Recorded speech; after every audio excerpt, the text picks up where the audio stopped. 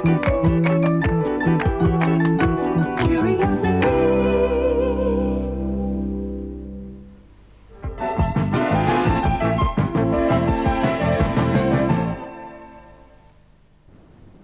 an amplifier? I'm glad you asked. You have many of them in your home. Some are obvious, some are not so obvious. If you have a cassette recorder or player, that's certain to have an amplifier inside it.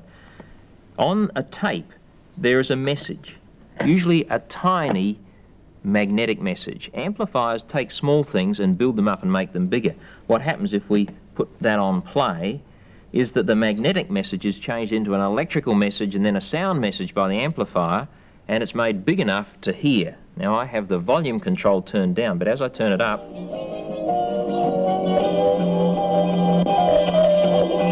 you can hear it, and I can control the amount of amplification by turning that knob up or down. And you've done that sort of thing many times, haven't you?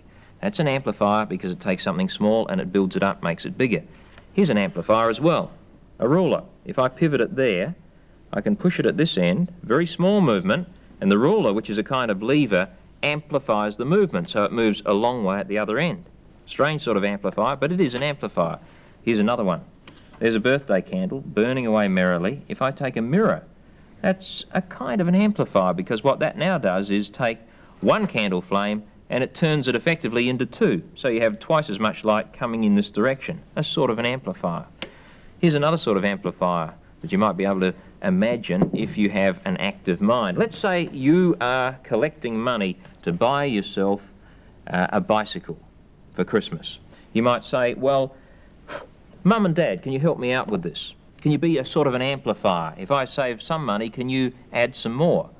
And if they're very generous, they might say, yes, for every 10 cents that you save, we will match that and give you another 10 cents. So this is the sort of thing that happens. You put in 10 cents, and then they add another 10 cents. Okay? And that'll go on until Christmas. But what if you're a little bit sneaky? And if you took the two coins out of the bottom of the piggy bank, and then if you said, hey, mum and dad, look, now I'm putting in two coins. And so what they would have to do is to put in another two coins.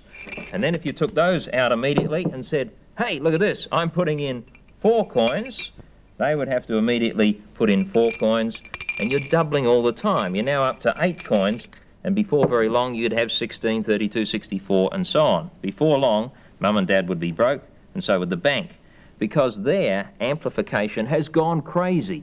What you're doing is feeding the thing that goes in back into where it came from in the first place. It's going out, going back in, going out, going back in, and so on.